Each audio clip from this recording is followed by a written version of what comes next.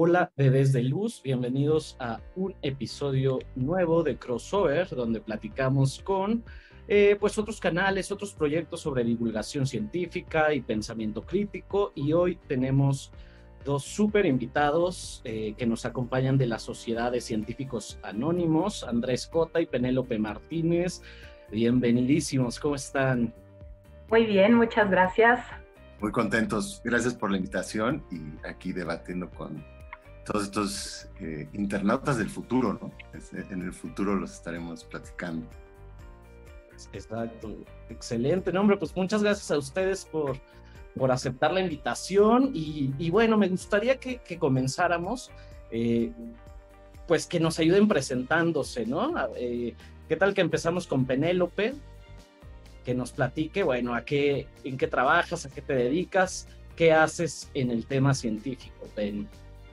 Va, pues eh, ya, ya les dijeron, yo soy Penélope Martínez. Yo estudié biología en la Facultad de Ciencias, donde por cierto conocí a Andrés Cota, pero no nos acordamos de aquellos tiempos.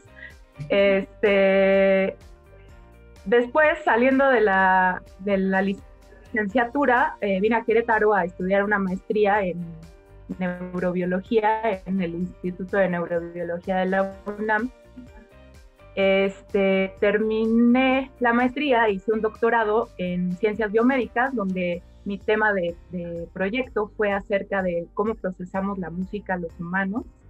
Eh, estoy en proceso de titularme y actualmente soy profesora. He sido profesora eh, también durante los últimos 15 años de mi vida, eso, eso ha sido constante. Y actualmente eh, llevo un par de proyectos de divulgación científica además, porque me apasiona la divulgación científica. Uno es precisamente una rama de la Sociedad de Científicos Anónimos que agradezco infinitamente a Andrés y a Natalia que hayan eh, confiado en mis manos porque ha sido un proyecto súper padre y súper interesante. Y además eh, doy charlas para charlas de diversos temas, sobre todo eh, relacionados con el bienestar con la salud, con, la autoconciencia este, a escuelas y empresas. Excelente, muy, muy completo. Muchas gracias, Pen. Y Andrés, ¿qué tal que, nos platicas también un poquito sobre tu formación y, tus trabajos en este tema de la divulgación científica? Yo, yo, en efecto, como dice Penélope, no es que no me acuerde yo de los años de la facultad, es que pasé muchos años en la facultad, ¿no? O sea, Tuve muchas generaciones me titulaba, no me titulaba, la abandonaba por momentos, porque desde entonces yo en realidad me interesaba mucho pues, otro tipo de actividades creativas, digamos, ¿no? En ese momento era el cine. Entonces, a la par de estudiar la carrera de biología, eh, pues trabajé en cine, hice algunos cursos y trabajaba un poco de manera eh, paralela en cosas de rodajes. Y, entonces eventualmente dije, en realidad lo que yo quiero hacer es una maestría fuera de México, ¿no? O sea, ese fue mi gancho, el único gancho para impulsarme a finalmente terminar la carrera. Y en efecto, me fui a hacer una maestría de comunicación de la ciencia, de documental científico a, Londres, Inglaterra, con una beca, ¿no? Por eso uno tiene que acabar la licenciatura, porque no te puedes. Esa movilidad a países tan prohibitivos como Inglaterra, pues, ¿no? El Reino Unido, este si con la beca de Conacid cuesta, ¿no? Pues este, en fin, entonces emigré y estuve un tiempo largo fuera de México. Después de Londres me fui a vivir a Berlín y entre unas y otras fui abandonando la, la academia, ¿no? Yo soy un desertor de la academia, me da un poco de envidia cuando Penélope dice que está a punto de ser doctora porque le veo lejísimos de mi realidad momentánea al menos. Pero bueno, he tenido la suerte de poder irme haciendo una vida como comunicador de la ciencia, creo que sería lo que me dedico sobre todo a escribir, ¿no?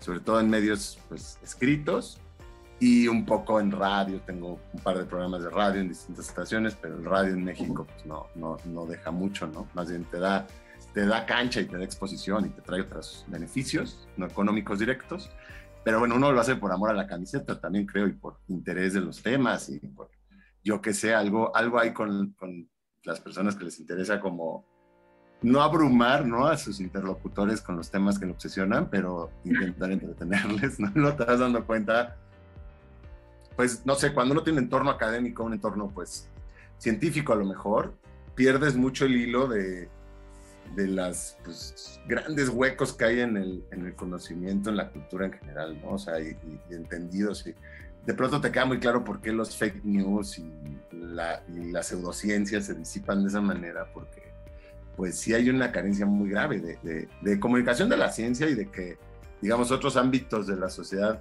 siquiera comprendan cómo funciona la ciencia, porque no nos damos a la tarea a veces ni siquiera de explicárselo.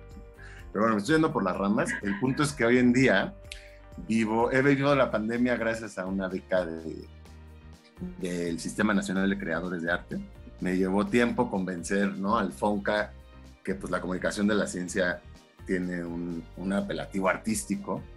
Pero pues eso es lo que pasa en estas, digamos, carreras híbridas, que en México está tan en pañales. No están en un lado ni en el otro. Y entonces, con así te dice, no, hombre, si tú quieres escribir un libro, pues pídeles dinero allá en cultura, ¿no? y, viceversa. Y vas a cultura a decir que yo escribí un libro sobre teoría de cuerdas y te dicen, ah, no, pues te así. Entonces, en fin, es como, yo siempre digo que es un poco una vida como de acróbata, en realidad tienes que estar haciéndole aquí y allá y trabajando de pronto para el guion de una serie que en realidad no te interesa tanto, pero pues te deja, ¿no? Este, y pues los libros no producen tampoco mucho dinero, tristemente, en México. Este, pero hay que seguir apostando. Yo creo que hay que seguir empujando esa bola de nieve que se va llenando, ¿no? Se va haciendo cada vez más grande y creo que en algún momento el propio peso de la bola ya te jala con la inercia. Y en fin, y tengo, bueno, y, y, lo que nos trae aquí supongo sobre todo es que fundé la Sociedad de Científicos Anónimos con Natalia hace ya casi cinco o seis años, ¿eh? Vamos a cumplir seis años. Yo creo es que la pandemia ¿no? Le agregó un paréntesis extraño el tiempo, me parece que no pasó tanto, pero fueron dos años más. Y pues tuvimos a bien empezar con esta idea de, expandir la sociedad a, capítulos en otras ciudades, ¿no? Porque luego, pues si no, todo se queda en un mismo lugar y tiene algo interesante y rico el evento en sí, pero es muy chiquito, es muy limitado. Entonces la idea era como replicar el formato, ¿no? Con esta cosa como medio de verticales, pero relativamente independientes. Eh, y Querétaro pues fue el primero, el primero en abrir y el único hasta ahora, con la gran virtud de que en Querétaro han podido hacer reuniones presenciales desde hace un buen rato y acá en la ciudad tuvimos que parar mucho También está Guanajuato ahí cocinándose, y está Oaxaca, Jalapa, eh, Mérida, pero todos están como, como dicen los colombianos, como arrocito en bajo, ¿no? Con la, con la llama muy bajita y así esperando el momento adecuado. Pero bueno, ya fue larguísimo. Entonces, básicamente me que escribir. Soy biólogo también de la Facultad de Ciencias de la UNAM. Y también conductor de radio y pues, a veces de cosas de video. Ok. Este, Excelente. tengo la gracia de seguirme hablando si no me parece. Por favor, tú cuando quieras. Este. No, no, no, está, está buenísimo porque además a lo mejor es eh, pues otras facetas que, que, la gente, si a lo mejor te ha visto en un, en, en un tipo de como de escenarios muy particular, a lo mejor no se pregunta por algunas otras cosas que, a las que te pudieras dedicar o que han podido haber surgido de manera paralela. Entonces a mí me parece que está, que está muy interesante, pero bueno, precisamente cuando nos platicas o nos introdujiste el tema de la Sociedad de Científicos Anónimos, pues me gustaría que me platicaran el proyecto en sí, pues cuál es el objetivo, en qué consiste. Voy, ok. bueno, pues eh, yo conocí a la Sociedad de Científicos Anónimos como invitada. Eh, a mí me llegó, estando justo en el doctorado, me llegó una, una invitación para dar una charla acerca de, de, mi tema de cómo procesamos la música. la verdad es que pues yo iba preparada para una charla más, porque además en, en ese tiempo mi, mi, tutor este, me delegaba ya todas las charlas del tema, entonces yo ya estaba en carrera, había científicos anónimos que todavía en Bandini, en Café Bandini. La primera este, temporada, en la sí, primera, la primera temporada. exacto. Este, me, me encantó, me, o sea, me enamoré del concepto fue una plática totalmente diferente a lo que, a lo que yo había dado antes, porque el, el lugar, el ambiente, el tipo de gente que, que estaba ahí en el público eh, hizo de la charla una cosa padrísima, súper íntima, este, veías a la gente involucrada en el tema, discutiendo, este, incluso algunos que hasta se prenden, ¿no? Con, este, dando su opinión. Andrés ahí tuvo que detener un par de apasionados. este, y me enamoré, me enamoré del concepto. Yo regresé con la idea de, hacer algo aquí en, en, Querétaro similar. Y luego me dije a mí misma, bueno, pero pues si ya está el concepto, ¿por qué tendría yo que empezar de cero, no? Entonces llegó pues un momento en el que hablé con Natalia y con, con Andrés y les propuse esta idea de, de, traerlo a Querétaro, ¿no? Pero bueno, eso es la Sociedad de Científicos Anónimos, es eh, un proyecto que saca a la ciencia de sus espacios y de sus ambientes habituales. O sea, lo que hace es que te lleva la ciencia a ese lugar donde tú estás acostumbrado a estar relajado, a estar echando relajo, a estar este, platicando con tus cuates y, te llevan un cuate que pues, habla de un tema específico, que, que además es un experto en ese tema, y él abre la conversación, ¿no? Él te, siembra la semillita de la curiosidad y de la duda y en, ese ambiente relajado donde hay cerveza, donde hay botana, donde hay comida, donde están tus cuates, nos ponemos a platicar de ciencia. Y entonces el resultado pues es maravilloso porque la gente deja esta idea de que la ciencia es aburrida o es inalcanzable o solo la entienden los que llevamos 15 años estudiándola, ¿no? No, eh, se dan cuenta que la ciencia puede ser sumamente interesante, que incluso ellos pueden eh, dar este, ideas, dar, eh, alimentar a la ciencia, ¿no? Este, incluso cuestionar cosas sumamente interesantes, ¿no? las personas que están más lejos del área a veces hacen las mejores preguntas, las cosas que a ti ya no se te ocurre preguntarte, vienen de personas totalmente ajenas a tu tema, ¿no? Entonces se vuelve un ambiente padrísimo y bueno, pues ese es, ese es el concepto de la Sociedad de Científicos Entonces, principalmente es, pues llevar, eh, acercar la ciencia en escenarios coloquiales, en escenarios relajados al público en general, ¿no? Y, y propiciar, digamos, el diálogo, ¿no? O sea, que, que, haya un diálogo bidireccional entre ciencia, ¿no? Entre eh, investigadoras, expertos, divulgadores, lo que quieran alrededor del conocimiento científico y el resto de ámbitos de la sociedad, porque es lo que dice un poco Penélope. Muchas veces en ese, en ese diálogo bidireccional, en un, en un espacio que es mucho más al tú por tú, una cantina, si algo propicia, es pues, la charla al tú por tú, ¿no? Este, no, no con este, digamos, los espacios más afines a un auditorio, más afines a cualquier ámbito más académico, pues tienen ya el estrado de por sí, ¿no? Entonces ya te marca como, y si no es el estrado y una altura y entonces es una voz así como autoritaria hablando desde ahí arriba, por lo menos es un poco esta cosa de pues siempre eh, el experto o el maestro allá enfrente, ¿no? Y el resto. En un principio, cuando justo esa primera temporada en Bandini, la verdad es que son los eventos que más extrañamos. Creo que todo el mundo piensa eso de, no lo ves en el momento, ¿no? Pero luego es el mito de origen y te acuerdas de, esos eran los años dorados. Porque los eran, porque como era menos, había menos aforo, tenía menos convocatoria, permitía a veces poder, creo que el de Penélope fue de los primeros que se llenó ya así muchísimo, pero permitía hacer otros formatos, ¿no? Por eso era también científicos anónimos, porque tenían formato como de, como de reunión de alcohólicos anónimos, nos sentábamos en círculo, no éramos 20, 30, y entonces el ponente ni siquiera, por allá había algo de imagen, pero el ponente no estaba en el frente hablando con micrófono, sino que era mucho más, eh, todavía más relajado, ¿no? O sea, como que estabas tú en tu mesa y desde tu mesa le cotorreabas a los demás que estaban ahí. Y eso le daba una, una aura muy, muy bonita, la verdad, y se volvía mucho más fácil debatir también, ¿no? Porque se volvía más fácil a veces poderte robar tantito el turno de alguien más para, o sea, había más eh, diálogo entre todos los presentes ha crecido, ¿no? Hoy en día aquí en la ciudad, digo, ahora que vamos a volver en presenciales, como en dos semanas, tres semanas volvemos, pero antes de la pandemia, pues los eventos iban 150 personas, a veces 200.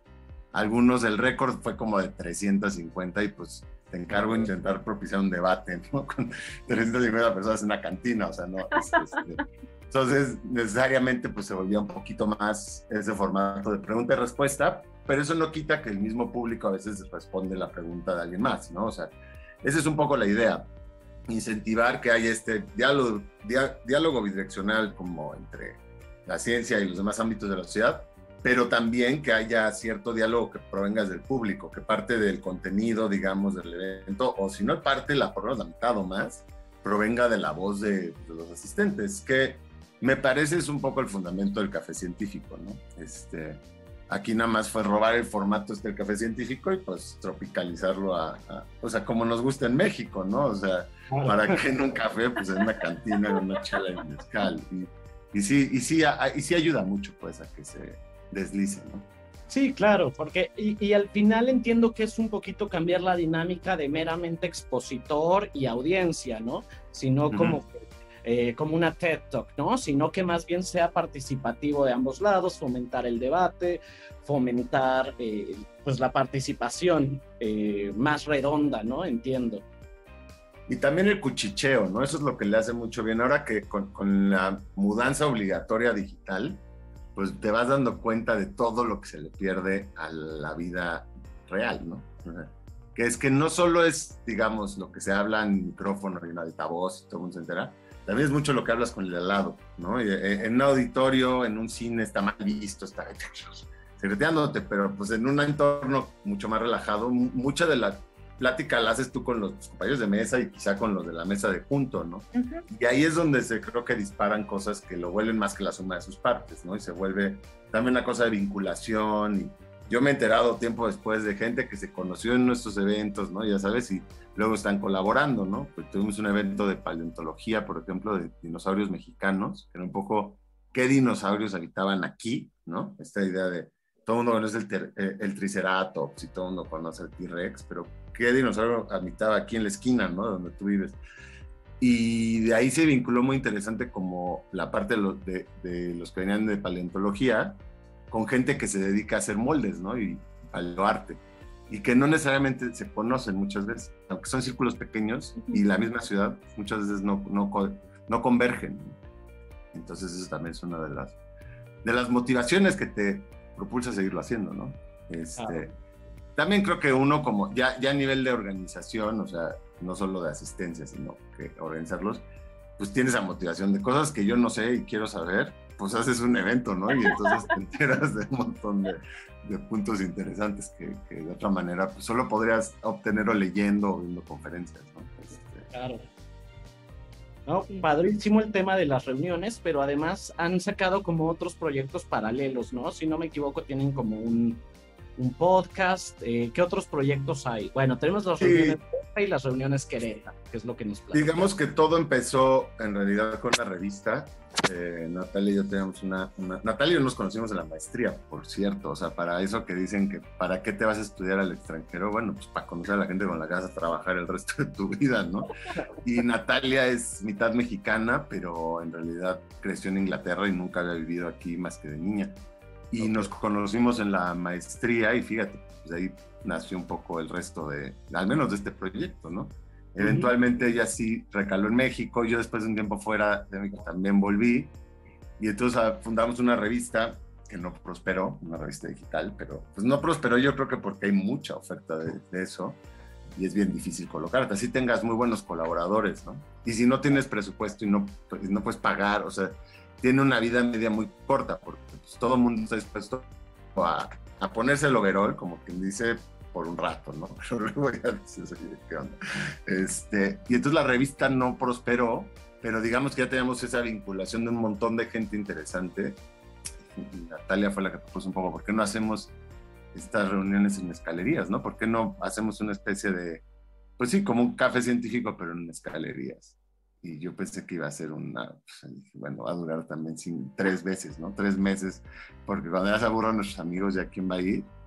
Y ya bien me equivoqué, porque en realidad muy pronto nuestros amigos pues, no son el público, ¿no? Yo la mayoría de eventos no conozco a nadie, o sea, va cambiando mucho también, es como, hay gente que se vuelve como público, digamos, asiduo durante un tiempo, los ves cada evento, cada evento, y luego desaparecen completamente y así van, pero creo que eso es un 20%. La mayoría como que se acerca o por el tema, o aquí ya se había vuelto pues como una oferta más de entretenimiento nocturno, yo creo. Entonces, yo veía, luego me daba cuenta que había mucha banda que usaba, lo usaba como cita de Tinder, ¿no? Así como que es un Tinder, un Tinder en que quedas bien, yo creo, ¿no? Así nos vemos en la plática de superbacterias, ¿no? Este, y entonces ya te da un tema de conversación, o sea, ya te deja, te hace la tarea, ¿no? Hasta cierto grado.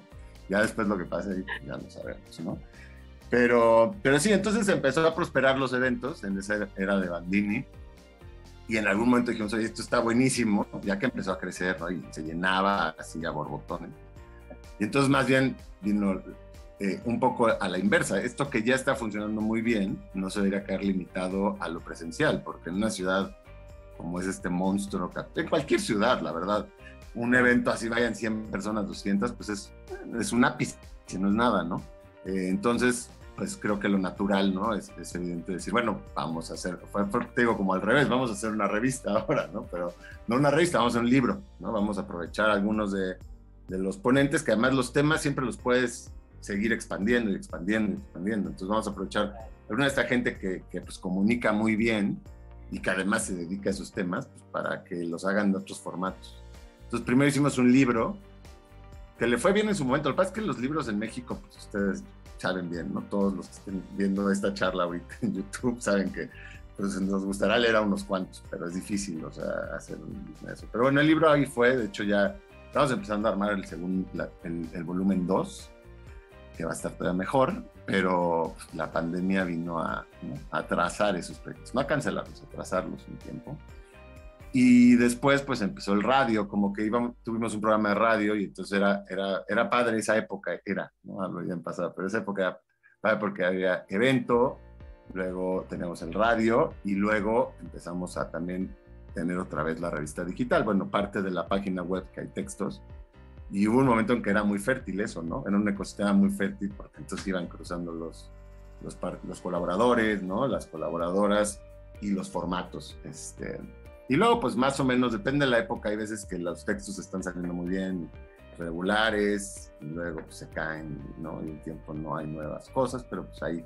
Y entonces ahora son muchos frentes de batalla porque es, eh, digamos, los eventos en vivo, que ahora volvemos, eh, el radio, que eso ya esperé, por suerte sí pegó en otras estaciones, no en la que estábamos en el principio, eh, pues unas animaciones que estamos haciendo ahí, lo que pasa es que las animaciones muy caras, pero bueno, animaciones y algunas cosas de video y pues los textos, que siempre está abierto a colaboradores. Lo que pasa es que como ya, ya le ha empezado a pasar a Penélope, cuando uno tiene un evento al mes, de pronto no es que no es que te haga falta a quién meter, es que pues, se te llena el calendario a seis meses, ¿no? Ya tienes seis meses todo seguro y hay gente que se está cerca y propone cosas, entonces pues los aprovechas para un texto, ¿no? Este, que eso es lo que Natalia y yo al menos acá es lo que intentamos hacer siempre, como programar la mitad de los eventos micha y micha quién quiere, o sea, cosas que nos interesan a cada uno, o ponentes que creemos que pueden estar buenos, o temas de los que no sabemos. Luego, una pequeña porción es para lo que pida la gente, porque luego pues, la gente dice, ay, estaría buenísimo que hicieran uno de estos, pero de agujeros negros, ¿no? No sé. Y luego otro 20%, 30% para los ponentes que, se, que te llegan a decir, oye, pues yo me dedico, hacíamos con, de nuestros colaboradores más queridos, han nacido así, como en un evento de, oye, pues fíjate que yo soy psicólogo y, psiquiatra y me dedico a temas de, trastornos alimenticios, ¿no? Y entonces, y bueno, pues ya de pronto los googleas y ah, no, es todo una eminencia este cuate, ¿no? Claro, un evento. Las malas sorpresas también, ¿no? De gente que le, le programas un evento y ya me dices, o sea, es muy bueno y todo, pero no lo cuenta bien, ¿no? O sea, es que son distintas habilidades, creo. En fin, y eso, y, ahora, pues eso, el nuevo proyecto era expandirlo, como dice Penélope, o sea, repetir el formato. lejos de. Ha, cambiado el, territorio en este sentido, porque cuando empezamos había muy poquitas cosas así. Empieza a haber más, y eso es algo que a mí siempre me da gusto. O sea, menos aquí en la ciudad de pandemia, ¿no? O sea, quienes vuelven, quienes no, pero ya había como uno que era como mm, A Pint of Science, ¿no? Ese es uno, uno, uno inglés que te trajo a México, que básicamente lo mismo. Había otro que era La Taberna Pensante, hay otro que, hay ahora unos de stand-up comedy, ¿no? O sea, como que se ha ido diversificando y a mí es algo que me da gusto, ¿no? Que, o sea, es, lo contrario de ser receloso con algo así. Tú lo que quisieras es que hubiera uno en cada pinche bar todos los miércoles, ¿no? Este, creo que eso sería lo óptimo. No, totalmente, porque, porque además yo creo que algo de lo que adolece mucho la, la divulgación de la ciencia eh, y que en realidad a mí me motivó mucho para sacar este tipo de proyectos, pues es que el científico pocas veces hace divulgación de su trabajo, ¿no? Como que muchas veces como científicos nos dedicamos a experimentar, a publicar eh, en journals especializados. Es así como, bueno, pero tú cuando le platicas a la gente, al público de la sociedad, ¿qué es lo que estás haciendo, no? Eh, para qué sirve, cuál es la relevancia de que con así te dé dinero de los impuestos de los mexicanos, este, cuál es la relevancia de que te hayan dado durante cuatro años una beca de doctorado, ¿no? Y, sobre todo también porque pues muchos canales que se dedican a la divulgación, no digo que todos, pues suelen ser malinterpretaciones de lo que en realidad el científico quiere hacer. Y, y realmente de eso surge mi, pues mis ganas de sacar este proyecto, ¿no? Me gustaría que, que Pen, que también pues estás en la parte académica, nos platicaras cómo, cómo ves tú esta, esta parte de la divulgación de la ciencia. Sí, a mí me, pues desde hace muchos años, la verdad es que esto no, no nació hace poco, yo desde hace muchos años noté, y yo creo que eh, lo que a mí más me acercó fue justamente mi profesión, ¿no? O sea, yo eh, trabajo con adolescentes desde hace muchos años y darme cuenta de la falta de información, que eso es grave, pero lo que es aún, o, desde mi punto de vista es aún más grave, el creer que tienen información cuando la información es falsa, ¿no? Entonces, escucharlos decir cada barbaridad o este, mis amigos, mis familiares que pues como soy la científica de la familia, pues es a quien a veces consultan, ¿no? Ya quisiera yo que me consultaran siempre antes de tomar ciertas decisiones, pero luego había veces que me consultaban cosas que yo decía, bueno, es que si, si se agarraran el libro de biología de su hijo de la secundaria, se darían cuenta que lo que quieren hacer no tiene ningún sentido, ¿no? O sea, no tiene ninguna lógica. Entonces a mí me, me empezaba a angustiar mucho, eh, y no exagero con la palabra angustiar, que existiera esta falta de entendimiento de uno mismo, porque a mí me parece que sí, es grave que no entendamos cómo funciona el ecosistema o el universo, pero empezando por nuestro organismo, pues, o sea, la gente no conoce su cuerpo, no sabe cómo funcionan sus órganos, cómo funciona su metabolismo y por eso pueden caer en mil trampas de, de estafadores que te dicen, tómate esta pastillita y te va a solucionar lo que quieras, ¿no? Entonces, a mí me, angustiaba mucho que existiera este, esta falta de entendimiento de, la naturaleza, empezando por la naturaleza de nuestro organismo. ¿no? Entonces, para mí es, era primordial comunicar lo que yo estoy aprendiendo en las universidades, ¿no? O sea, todo ese conocimiento que yo absorbo en, en, la licenciatura, en la maestría, en el doctorado, pues para mí era primordial llevárselo a la gente, pero además llevárselo en un lenguaje que lo entienda, porque como bien dice Andrés, hay gente expertísima, buenísima en el tema y cuando la pones a explicarlo, solo él se entendió, ¿no? Porque no tienen esa habilidad para comunicarlo. Entonces, no, además de, de, dar la información, hay que darla en forma de divulgación, ¿no? Que es tal cual hacerla para el vulgo, o sea, que, la gente lo entienda, que cualquier persona, aunque tenga o no tenga carrera o sea del área que sea, pueda entender el tema y pueda llevarse un conocimiento a su vida, ¿no? que, de cada eh, interacción con, con, con, estas charlas se quede con algo que le va a servir para la vida. ¿no? Entonces yo creo que sí es importantísimo y tristemente en nuestro país, como también ya Andrés lo ha mencionado varias veces, hay muy poco apoyo para este tipo de, trabajo. Eh, yo, por ejemplo, en el proyecto este en el que doy charlas para escuelas o para empresas, todo el mundo está interesadísimo en las charlas, o sea, nadie te dice que no, pero pagarlas, no, eso sí como que ya no, no se les antoja, ¿no? O sea, ni que, ni que fuera tan necesario. Claro, no, no, no se ve la importancia de o sea, lo prioritario que debiera de ser, ¿no? Y yo creo que la importancia de la charla sí la ven, lo que no ven es el trabajo que hay detrás de eso.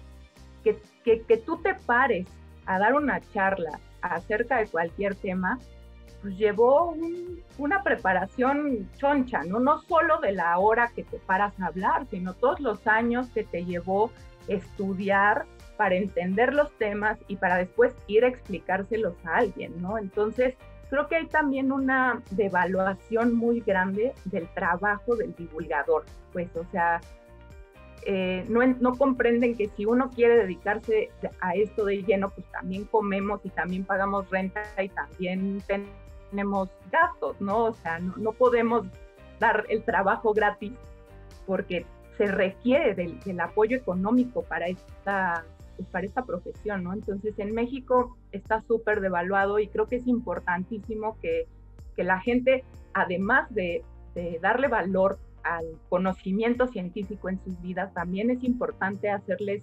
entender que, que, también es, que también tienen que apoyar el trabajo del divulgador. Claro. Una... digo, y por otro lado, nada más para completar eso, que es que, pues al interior de, digamos, en la administración de la ciencia, ¿no? En, la parte académica, no solo no se promueve que, los científicos y las científicas eh, socialicen sus conocimientos y hagan cosas de divulgación y de comunicación, sino que casi que se les castiga, porque el tiempo que tú emplees y digo, lo digo como viniendo de una familia de, o sea, mamá es científica en activo, mi papá es científico y lo he visto toda la vida con ellos y sus alumnos y todos. Cuando se, mi mamá se pone a escribir un capítulo para un libro, ¿no? Este, pues pierde el tiempo aquí en México que se valora la cantidad contra la calidad. Pierde el tiempo necesario para estar publicando sus tres artículos anuales para que les ni tres no la reclasifiquen y si tú ves los sueldos, digamos, de nómina de la UNAM, pues son irrisorios, ¿no? O sea, la verdad es que los científicos y científicas en México viven de los estímulos. Eh, sin eso se quedan en el aire. Y para mantener esos estímulos, pues entonces tienes unos candados de presión brutales, mal decididos, porque ¿qué? E, e, esa vorágine de publicaciones, digamos, en revistas no especializadas, indexadas, que ya no me acuerdo en cuánto va el, eh, promedio anual de, de artículos, pero está en el orden de los varios millones. Y la mayoría de eso se pierde, o sea, se queda entre pares, de, luego de, campos minúsculos en que son seis, ¿no? Literalmente hablando. Y luego falta esta conectividad con, el resto, con una cosa más integral. Pero digamos que saliéndose de la academia, nada más para el, motor, el, catalizador de que quien sea experto en cualquier tema se lo comunique a quienes no son expertos, está perdido aquí. Este. Entonces, ¿qué tienes? Pues un, tienes un, panorama en el que, bueno, solo aquellos científicos, investigadoras ya muy connotados, ¿no? Lascano, pues hace un montón de cosas de comunicación de la ciencia. Por suerte, porque además es bueno, pero, pero porque puede, ¿no? O sea, él ya tiene, o sea, ya, ya está en el Colegio Nacional, ya está en un, ya tiene una vida que le permite hacer eso, o Julieta Fierro, o Julieta Güeña, o sea, son muy buenos todos, ¿no? Pero ya están en un nivel, los jóvenes, y luego tienes los otros muy jóvenes, que bueno, lo hacen pues por puro querer ser influencers, ¿no? Y su TikTok, están ahí como intentando, y hay un montón de iniciativas de eso, aunque como tú dices, luego puede que se les pierda un poco la calidad del contenido, ¿no?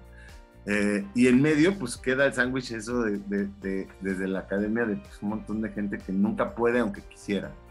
Y luego entonces viene el otro lado, que bueno, si no se va a poder que los mismos académicos lo hagan, bueno, necesitas comunicadores, pero esos comunicadores son un eslabón más de una cadena que, que requiere pues presupuesto, ¿no? Y, y, si lo ves en Inglaterra, que a lo mejor es el extremo opuesto, es por ley, cada instituto, cada facultad, cada empresa tiene su área de comunicación de la ciencia. Este, entonces, por lo tanto, hay puestos laborales, ¿no? Este, claro. Aquí empieza ahí, ¿no? En las grandes universidades, bueno, empieza a haber una cosa de, comunicación de la ciencia institucional, que está bien que exista, pero también siento que se queda en un, ¿no? En, en, una especie de esfera muy particular de la comunicación de la ciencia. Sí, sí. Sí, y, y, bueno, al final esto repercute, o, pienso que estas normativas pues van a necesariamente repercutir en una sociedad particular, ¿no? Es decir, eh, la sociedad mexicana como tal, pues tiene o adolece de, este eh, alfabetismo científico como consecuencia de ello. ¿Cuáles son ustedes como la, a lo mejor dos, tres puntos principales donde pudieran eh, recalcar o señalar la importancia que tiene la ciencia para la sociedad, no solo a nivel de conocimiento, ¿no? Porque va más allá de solo conocer, conocer, conocer, memorizar, memorizar, memorizar, ¿no? ¿Qué da la ciencia a una sociedad? Y fíjate que yo, por ejemplo, también desde mi, desde mi postura de profesora, eh, yo me doy cuenta que desde la escuela, o sea, yo además, yo, yo la mayoría de los años que he dado clases han sido en secundaria y prepa, o sea, de verdad estoy en la etapa súper formativa donde, donde uno puede eh, hacer que los chicos amen la ciencia o la aborrezcan para toda su vida, ¿no? Igual que cualquier otra materia. Eh, y lo que yo noto es que muchos profesores se, yo no sé si es por la ambición de que aprendan mucho o si es por cubrir el plan de estudios minuciosamente, pero van, eh, su principal eh, interés es justamente que los chicos memoricen un montón de datos, un montón de información que nunca entendieron, que nunca integraron, como, como dice Andrés, que además sigue sucediendo hasta los investigadores con postdoctorados, ¿no? O sea, no hay integración del conocimiento. Y entonces, pues es información que los chavos se aprenden, la escupen en el examen y luego nunca jamás vuelven a recordarla ni, la hilan con nada, ¿no? Y a mí, por ejemplo, me, me funcionó mucho desde, desde, mi, desde mi postura de profesora, que en vez de ambicionar cubrir un plan de estudios, hacer que los chavos entendieran bien, bien, bien ciertos conceptos. Entonces, creo que, y, eso a, mí me ha funcionado para que se interesen, porque una vez que realmente entienden, le, encuentran el sentido a algo, a veces de ahí ellos solitos se van, ¿eh? porque los chavos no es que, e, esa idea que tiene la gente de que ahora a los chavos nada les interesa y que nada les apasiona, no es cierto, solo pues no les interesan las cosas que a nosotros nos interesan, ¿no? Pero una vez que un, chico descubre algo que le apasiona, se obsesiona, o sea, puede pasar horas investigando sobre ese tema, aprenderse el detalle más eh, minucioso acerca de eso. Entonces, yo creo que cuando despiertas el interés, cuando, cuando haces que la gente entienda, le meta en su contexto cotidiano un concepto, una idea o, un conocimiento, puedes engancharlos y de ahí que se vayan solitos a seguir eh, indagando sobre, sobre el tema, ¿no? Entonces creo que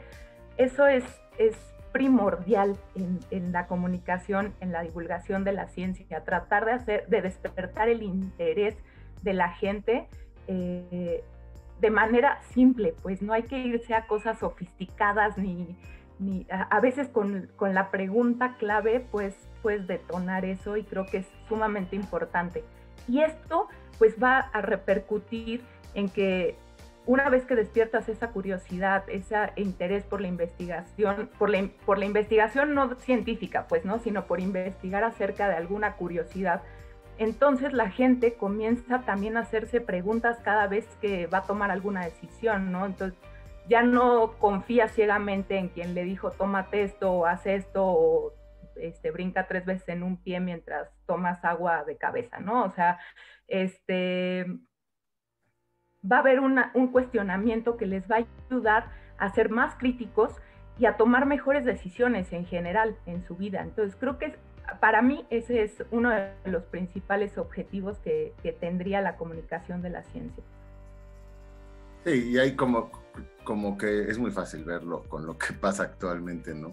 ahora que tenemos, además de todo, eh, una presión de, correctas tomas de decisiones con respecto al virus de moda, pues digo, yo no sé Ah, no sé si alguien haya estudiado eso, pero estoy seguro que México está entre los cinco primeros lugares de países que más creen en curas milagrosas, ¿no? O sea, los mexicanos, por cultura, por lo que sea, y por este analfabetismo, de, que, yo lo vería como esta, esto, como no, no poder ni siquiera discernir entre calidades de información. Entonces no sabes a cuál hacerle caso, no pones a todas como en el mismo, en, el mismo nivel. Claro, porque algo de, que tienen todo este tipo de cosas es que se venden eh, bastante bien eh, en términos pseudocientíficos, ¿no? Y, y, también identificar dónde es verdadero, dónde es falso es todo un reto. Sí, pero entonces, ¿qué tienes tú? Que bueno, si, si, cree, si, si eliges tratarte los hongos de los pies, ¿no? Con bueno, iba a decir, ya, ya va a sonar como, como reiterativo, pero si decides tratarte el pie de atleta con el hongo michoacano, ¿no? Este, pues está bien, ¿no? Lo peor que puede pasar es que tengas pie de atleta por mucho tiempo, ¿no? Pero, pero bueno, si decides palear, eh, protegerte contra la COVID, este, con dióxido de cloro, con cuánta cosa hay ahora, eh, bueno, tienes buena suerte, a lo mejor la libras, pero pues a, lo mejor no, y a lo mejor vas y contagias a gente que está en riesgo y se mueren, ¿no? Yo ya conozco varias fuentes de, primera fuente de, gente que estaba muy empedernida con el dióxido de cloro y pues empiezan a tener muertes a su alrededor, ¿no? Este, entonces sí es bien delicado. Y ahí es lo, que, lo, único que digo es que es una especie de telón que creo puede revelar la importancia en todos los demás rubros de la vida cotidiana. Pero bueno, estamos en un país que, cuando han escuchado a un político hablar de las cosas realmente importantes, ¿no? Siempre que si la macroeconomía, que si no sé qué, polarizando, no sé qué. Y nadie está hablando, pues, de las tres cosas o cuatro cosas que más van a cambiar el mundo, o que más están cambiando el mundo y que en los siguientes cinco años va a ser otro territorio, ¿no? O sea, que digo, sí, el desastre climatológico, bueno, ese es sin lugar a dudas, pero que la ingeniería genética, o sea, el manejo de ingeniería genética y el CRISPR y todas estas cosas, pues van a revolucionar muy, muy, muy. O la inteligencia artificial, ¿no? Y la suplantación laboral por, de cada vez más rubros, eh, pues por androides, y, qué y toda esa gente, si por sí aquí la pobreza es extrema, pues ahora de qué van a vivir, ¿no? Este, y eso es lo que deben estar platicando los políticos, eso es lo que les deberíamos de preguntar y deberían estar capacitados para contestar, ¿no? Este, pero sí, sí hay esa carencia gigante. Por eso es una labor, bueno, pues del día a día, como decíamos, ni modo, contra viento y marea y así sea este, comiendo latas de atún, ¿no? hay que seguir empujando el barco, porque si no, pues está perdida. La, o sea, si uno se lo quiere tomar ya muy en serio, pues está perdida la humanidad, o sea, porque por supuesto que es de las pocas esperanzas para que la humanidad pudiera dar un pequeño giro, ¿no? O sea, a lo mejor, sí, a ver, nos vamos a llevar entre las patas pues, al ecosistema, ya lo estamos haciendo y la sexta extinción masiva nada la va a parar, ni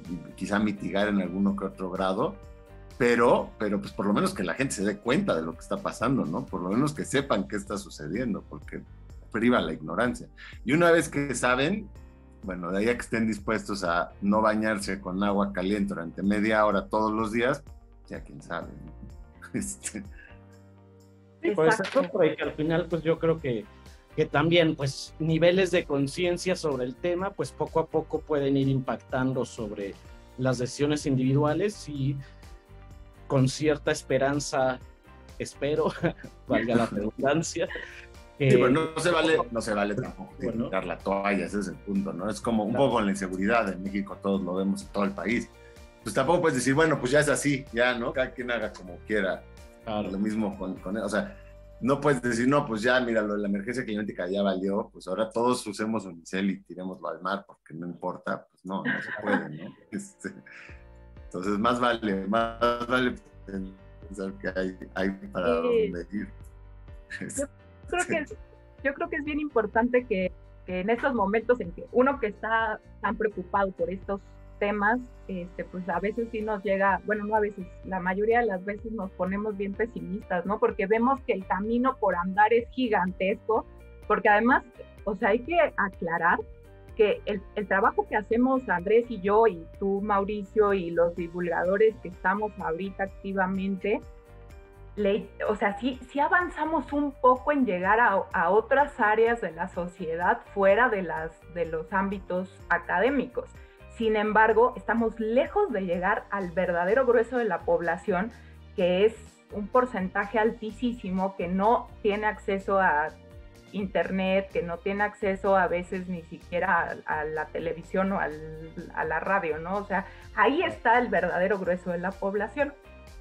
Sin embargo, a mí me, cuando me empiezo a poner demasiado pesimista, me gusta pensar en situaciones como pues, las mujeres hace unos 60 años que pues, pensaban que era imposible, por ejemplo, votar, ¿no? O sea, no, pues ¿cuándo? Eso es imposible. Y ya en todo el mundo sucede, ¿no? Entonces ese tipo de cosas que parecen imposibles, empujando, empujando, empujando, empujando, se pueden lograr.